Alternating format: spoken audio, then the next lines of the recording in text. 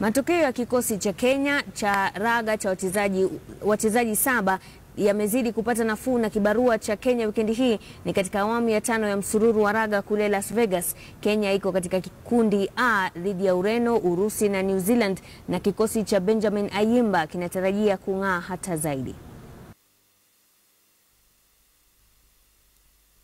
Kenya ipo katika nafasi ya nane kwenye jedwali ya msururu wa raga wachezaji saba ulimwenguni huku ikiwa imezoa alama 42 baada ya mikondo minne. Wikendi hii mkondo wa Las Vegas unatarajiwa kuwasisimua wengi, huku kikosi cha Shujaa kikiwa kimejawa na matumaini ya kuwa na matokeo ya kufana. Mwaka 2013 katika mkondo wa Las Vegas, Kenya ilichujwa katika nusu fainali dhidi ya Uingereza na kuboresha matokeo hao ni ari ya Shujaa.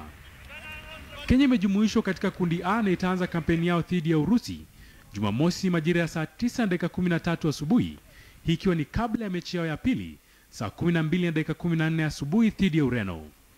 New Zealand, kikosi ambacho kilaza Shujaa 36 nunge katika mkondo wa Wellington, itakiragizana na timu ya Kenya majira ya saa 4 na dakika 45 usiku. We have refocused on what we need to do to play against New Zealand. We met them once. Uh, I think most of the things they did caught us we've come back, we have corrected some of the things that we need to get right and we're ready to face New Zealand. Mchezaji wa Impala Samuel Oliech kwa mara ya kwanza alijumuishwa katika kikosi cha Kenya na Dennis Ombachi pia anatarajiwa kung'aa huku akiwa katika kikosi cha Shujaa kwa mara ya kwanza kwenye msururu wa mwaka huu. Some pressure that comes with it, but I think for in, in all sports, pressure is, is good. It keeps you alert.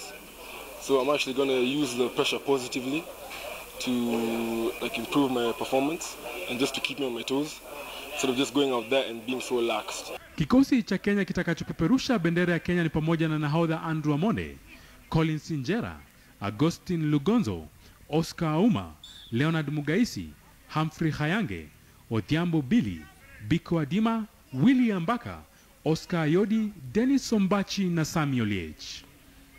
Moses Wahizi, KTN Michezo.